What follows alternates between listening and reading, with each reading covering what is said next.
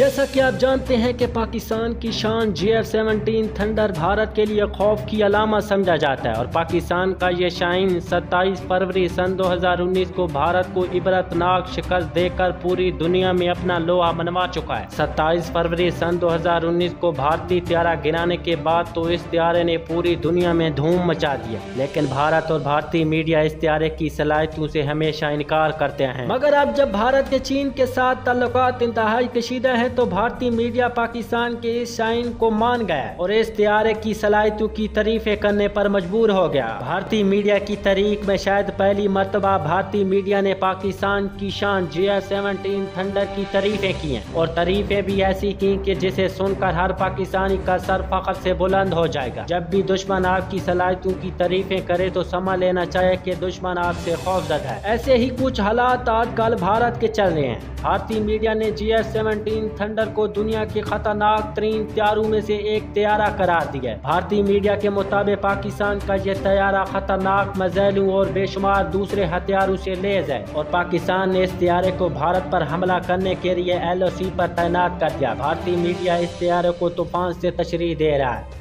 भारतीय मीडिया के मुताबिक पाकिस्तान का ये तैयारा तूफ़ान से भी ज़्यादा तेज है। पाकिस्तान का ये तैयारा सबसे जदीद तरीन त्यारा है और इसका शुमार दुनिया के खतरनाक तरीन त्यारों में होता है। पाकिस्तान भारत से जंग करने के लिए भूखा है और पाकिस्तान चीन के साथ मिलकर भारत को सबक सिखाने का मंसूबा बना चुका है।